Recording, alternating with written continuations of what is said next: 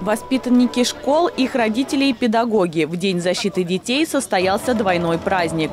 Старт строительства нового дошкольного учреждения в Новой Трехгорке дал глава муниципалитета, секретарь местного отделения «Единой России» Андрей Иванов.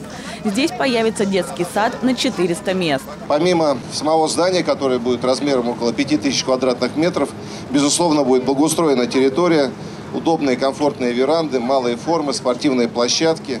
В самом здании разместятся и пищеблок, и медицинский блок, и э, спортивные залы. В детском саду появятся три группы для малышей и 13 групп для детей от 3 до 7 лет.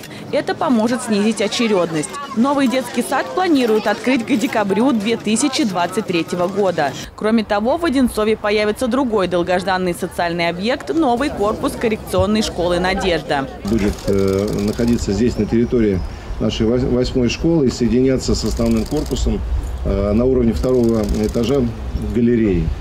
Ну, по сути, это э, полноценная новая школа.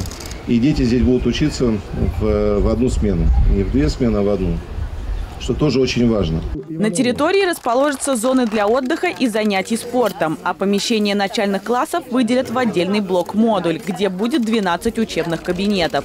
Это значительно увеличит число учащихся, отметила директор школы «Надежда». Сейчас э, ребяток возросло количество, и мы очень рады будем новой современной школе красивой, э, в черте города, удобной для ребят.